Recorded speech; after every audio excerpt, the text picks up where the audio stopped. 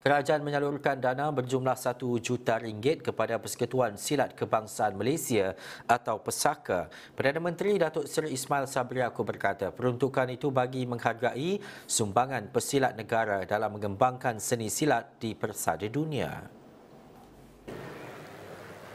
Saya difahamkan terdapat persatuan silat yang menerima pendaftaran lebih 40 pelajar baru berbanding hanya empat atau lima orang pelajar dalam tempoh setahun sebelum ini.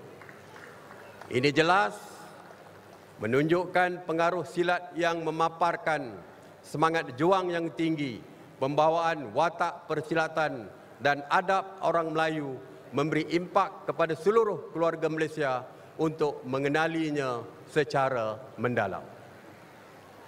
Bagi menghargai sumbangan yang diberikan oleh anak-anak silat serta bagi membantu pesaka mengembangkan seni, seni silat di persada dunia pada malam ini dengan sukacitanya saya mengumumkan dana sebanyak 1 juta ringgit kepada pesaka.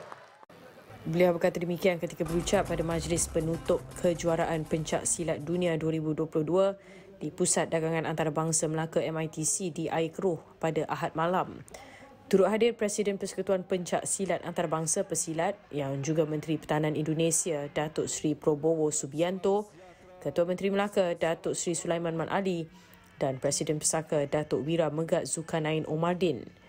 Tambah Ismail Sabri, negara berbangga dan berbesar hati apabila diberi peluang menganjurkan pertandingan sukan bertaraf dunia serta berharap lebih banyak lagi acara sukan berprestij seumpama itu dapat dianjurkan lebih 40 buah negara yang mengambil bahagian dalam kejuaraan berkenaan.